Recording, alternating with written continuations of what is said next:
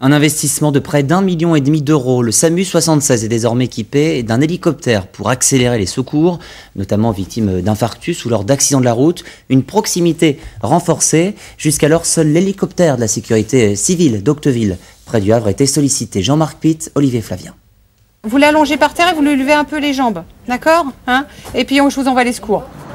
Plusieurs fois par jour, Viking quitte son nid d'aigle installé sur le toit de l'hôpital Charles-Nicolle de Rouen pour voler au secours d'un patient. Voilà deux semaines que cet hélicoptère est à la disposition du SAMU 76. Et pour ces médecins urgentistes, ça change tout.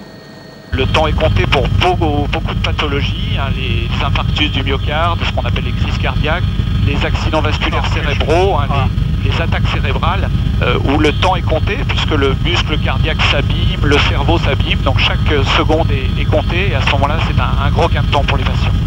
De 8h à 22h, les secours du département peuvent compter sur le soutien de cet allié ailé. Un appareil dédié qui contient l'équipement nécessaire aux premiers soins. Nous avons les, seringues électriques qui vont pouvoir pousser du produit, donc par exemple de la morphine, euh, petit à petit sur le patient pour lui donner euh, une antalgie, donc des antidouleurs pendant tout le transport.